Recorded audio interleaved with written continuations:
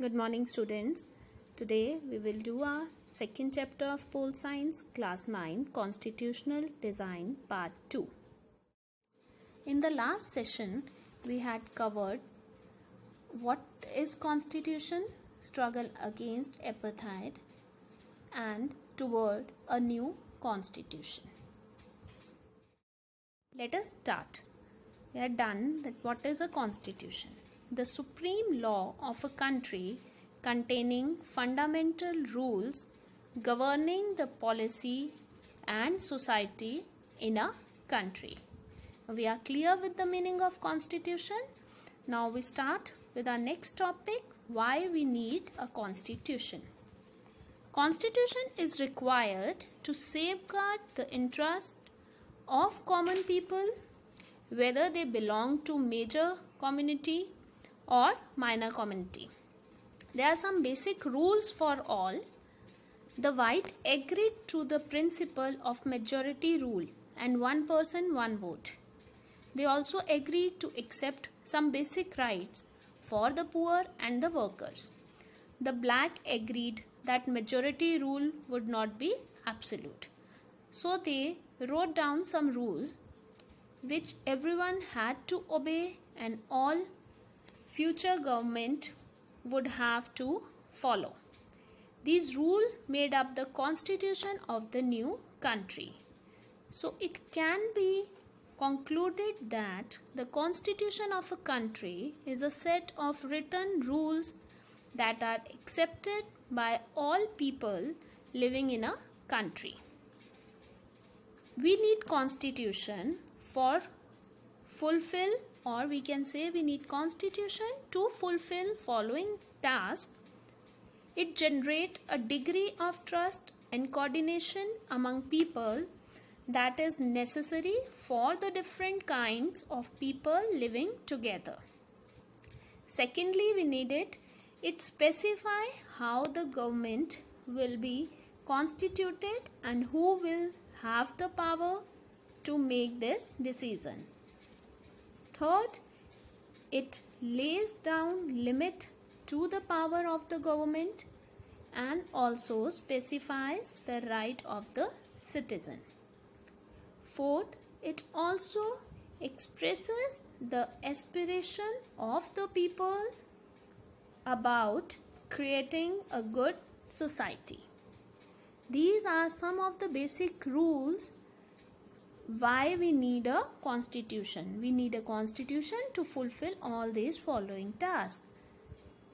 It is necessary to limit the power of the elected government lest it may misuse the power. These rules safeguard the right of the people. The only way to build and maintain trust among diverse groups of people having differences of opinion and interest is to write down some rules that everyone should obey. So, everything is written and that written set of rules and regulations is known as constitution. Now we start with our next topic making of the Indian constitution. The British left the decision to the rulers of princely state that is to merge with India or Pakistan. Now next is the part 2 constitution. The sense of creating the Indian constitution had evolved during the freedom struggle. There were different views regarding what path India should take after independence, but some basic ideas were accepted by everyone. These basic ideas were pivotal in the formation of the Indian Constitution. They had some discussion on the important topics. Let us discuss that. In 1928, Motilal Nehru and eight other Congress leaders drafted a constitution for India. At the Karachi session of Indian National Congress in 1931, the leaders decided how the Indian constitution should look like. Universal adult franchise, right to freedom and equality, right to minorities, etc. was some important topic that were discussed. some basic values were accepted by all leaders much before the Constituent Assembly met to deliberate on the Constitution. In 1937, election for provincial legislature and ministries were held all over British India.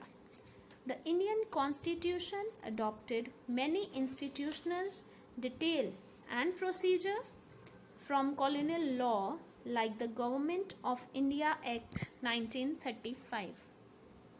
After years of thinking and discussion, our leaders got the confidence to learn from other countries but on their own team uh, terms many of our leaders were inspired by the ideals of the french revolution the socialist revolution of russia the practice of parliamentary democracy in britain and the bill of rights in the us now we discuss about the Constituent Assembly. Election to the Constituent Assembly were held in July 1946. In the first meeting, it was held in December 1946 after partition of India and Pakistan. The Constituent Assembly was divided into Constituent Assemblies of India and Pakistan. The Constituent Assembly that wrote the Indian Constitution constituted 299 members. The Assembly adopted the Constitution on 26 November 1949 and it came into effect on 26 January 1950. To mark this day, we celebrate 26 January as a Republic Day every year. The Constitution does not reflect the view of its members alone but express a broad consensus of its time. Over the years, several groups have questioned some provisions of the Constitution, but no large social group or political parties has ever questioned its legitimacy. This is an unusual achievement for the Indian Constitution on the world stage. Another reason for accepting the Constitution is that the Constituent Assembly represented the people of India. It could not be chosen directly by all the people as there was no universal adult franchise at that time. The Constituent Assembly was elected by the members of the existing provincial legislatures. This ensures a fair geographical share of member from all regions of the country. Now let us discuss or understand the working of Constituent Assembly, how the Constituent Assembly work. The assembly was dominated by the Indian National Congress which included a variety of political and regional groups of people. In social terms, the assembly represented members from different language group, caste, classes, religion and occupation. Finally, the Constituent Assembly worked in a systematic, open manner which gave a secret quality to the Constitution. The drafting committee and the Constituent Assembly how it works first some basic principles were decided and then a drafting committee under the chairmanship of Dr. B. R. Ambedkar prepared a draft constitution for discussion. The discussion of the draft constitution took place clause by clause. The member of the drafting committee completed the work in 114 days means 114 days spread over three years. More than 2000 constitutional amendments were made. Every document presented and every word spoken in the Constituent Assembly has been recorded and preserved. These are called Constituent Assembly debate. All the words what was spoken at that time or the document represented they all are recorded and preserved and they are called as the Constituent Assembly debate and have been printed in 12 bulky volumes. These debates provide the rationale behind every provision of the Constitution and are used to interpret the meaning of the Constitution. There are some important members also involved in the drafting of Indian Constitution. One, Sardar Vallabhbhai Patel. He was a lawyer and leader of Bardoli peasant Satyagrah. He was Deputy Prime Minister and Minister of Home, Information and Broadcasting in the interim government. He played a decisive role in the integration of the Indian princely state. Some other members are Abul Kalam Azad, Dr. Rajendra Prasad, H.C. Mukherjee, Baldev Singh.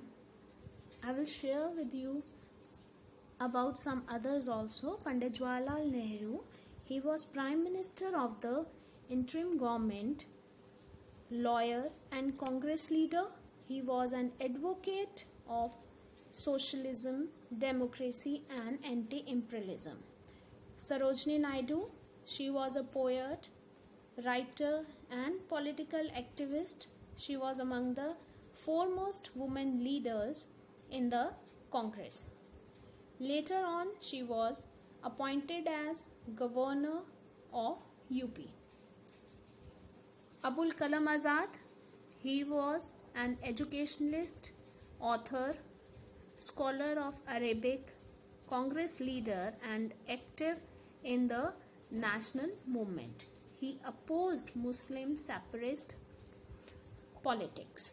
These are some of the people who were involved in drafting of Constituent Assembly that's all with this chapter this session we will discuss further